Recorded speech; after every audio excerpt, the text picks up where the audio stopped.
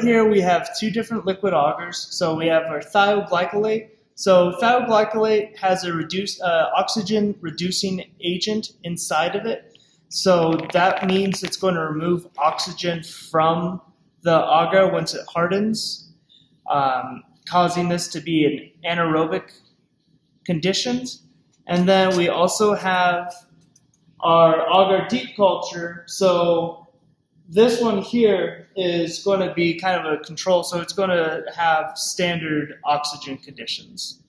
So we're testing aerobic versus anaerobic conditions. So what we're going to be doing is simply taking our bacteria, I'm going to inoculate our sterile loop,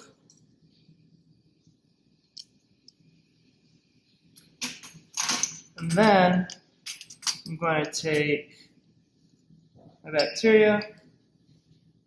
I'm going to inoculate the liquid agar. And then what I'm going to do is I'm going to mix this around a little bit.